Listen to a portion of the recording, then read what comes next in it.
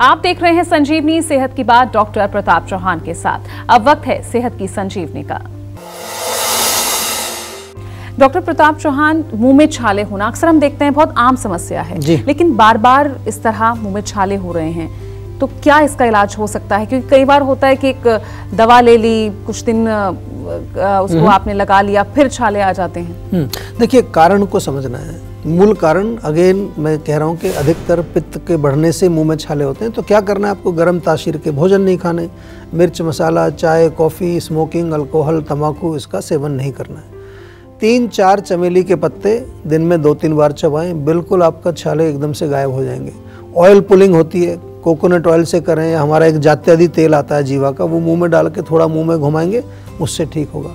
ताज़ा एलोवेरा अगर मिलता है उसका थोड़ा जेल निकाल के वो लगा सकते हैं। That is also very good और मुलेठी को थोड़ा घी में मिला करके लगाने से भी बहुत रिलीफ मिलता है लेकिन आपको ध्यान रखना है कब्ज नहीं होनी चाहिए। अगर कॉन्स्टिपेशन है तो रात को जीवा का मुक्ति चूर्ण या त्रिफला टैबलेट ज़रूर ले लीजिए।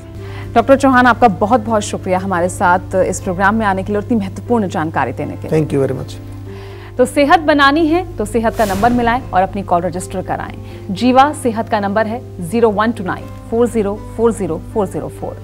अगर सेहत से जुड़े आपके भी कोई सवाल हैं तो आप ईमेल करें। जीवा की ईमेल आईडी है info at the rate Jiva dot com आप फेसबुक के ज़रिए भी जीवा से जुड़ सकते हैं। जीवा की फेसबुक आईडी है स्लैश जीवा आयुर्वेदा और यूट्यूब पर जीवा शोज़ देखना ना भूलें। और आज ही जीवा का यूट्यूब चैनल सब्सक्राइब करें, जो है कॉम स्लैश जीवा आयुर्वेदा सेहतमंद रहने के लिए आयुर्वेद से जुड़ना अच्छा खाना अच्छा सोचना और हर रोज संजीवनी देखना बेहद ज़रूरी है। कल फिर होगी सेहत की बात डॉक्टर चौहान के साथ। नमस्कार।